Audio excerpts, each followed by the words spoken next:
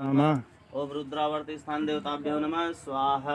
इदम रुद्रावर्ती स्थान देवताभ्यो नमः। ओम काशी कुंड स्थान देवताभ्यो नमः। स्वाहा।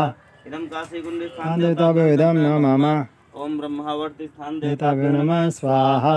इदम ब्रह्मावर्ती स्थान देवताभ्यो इदं नमः। अब अपने अपने पितृ देवताओं का ध्यान करते हुए उनको तीन आहुतियाँ समर्पित करें। ओम पितृ देवताभ्यो नमः स्वाहा।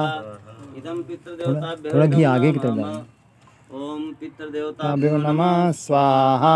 इदम पितृ देवताभ्यो इदं नमः ओम पितृ देवताभ्यो नमः। स्वाहा। इदम पितृ देवताभ्यो इदं नमः महामृत्युंजय मंत्र से आहुति समर्पित करें।